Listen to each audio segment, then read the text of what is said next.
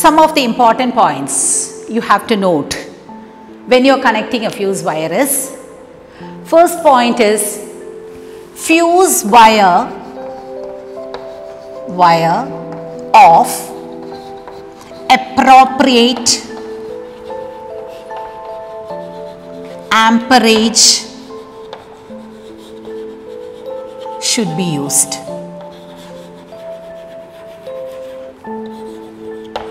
This is the first point you have to use that is amperage. Already you know what is amperage. Current. Already we have studied current isn't it? What is the unit of current? Ampere. So the current measured. Understood? So what is meant by amperage you are going to study? It is the ratio of amperage means a ratio of power supplied in a certain voltage.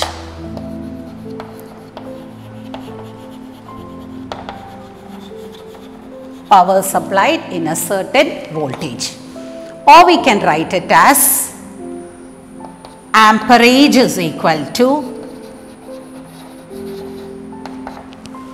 power divided by voltage. When you supply certain voltage, what will be the power? Understood? Ratio of the power supplied to the appliances. Understood? What will be the power in a certain voltage? That will be the amperage. Amperage is equal to power divided by voltage. The ratio of power supplied to the appliances in a certain voltage. So, amperage is equal to what? Power divided by voltage.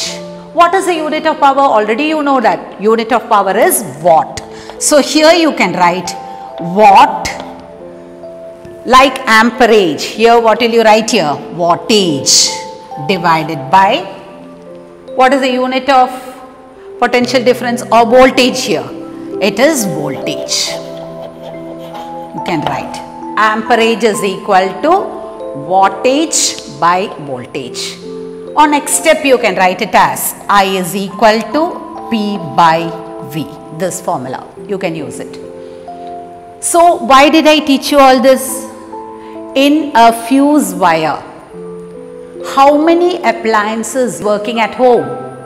According to that, each room, suppose you have one room, you have more than one appliances. How much power will be for each appliances they will be calculating. In that certain voltage, how many power will be in that certain uh, in which the uh, appliances work.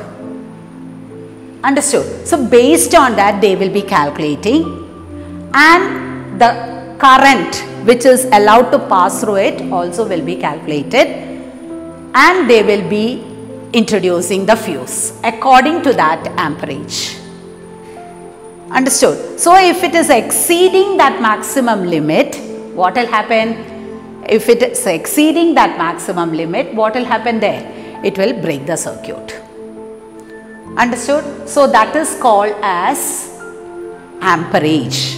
Fuse wire of appropriate amperage should be used. That is why we have to use fuse wire of appropriate. Uh, if it is exceeding that amperage or if it exceeding that current, what will happen to the fuse wire? It will be breaking. So, this is the one important points you have to note when you are using a fuse wire.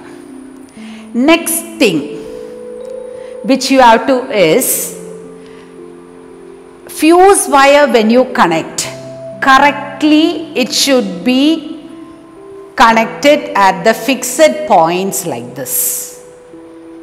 It that is correctly it should be correctly connected at the two points you can see one point here another point here isn't it. So, correctly at that you have to tie the fuse that is all. Then this wire should not project out. Second point is this fuse wire should not project that is if you completely close like this it should not come out any wire should not be coming out of the fuse. Understood all this we have to take care these are the precautions taken while you connect a fuse wire. So first thing, fuse wire of appropriate amperage should be used. Second point, two fixed points correctly we have to connect the fuse wire. And third point, when you connect the fuse wire, it should not project out of the fuse. Understood? So, these are the important precautions which is to be taken. Did you understand children? I hope everyone has understood about what? Safety fuse, which effect it is working, what are the peculiarities of fuse wire, how it is protecting the circuit, how it is acting as a safety measure, then what are the important points noted while you are connecting a fuse wire. Understood? Yes. I think all of you have understood.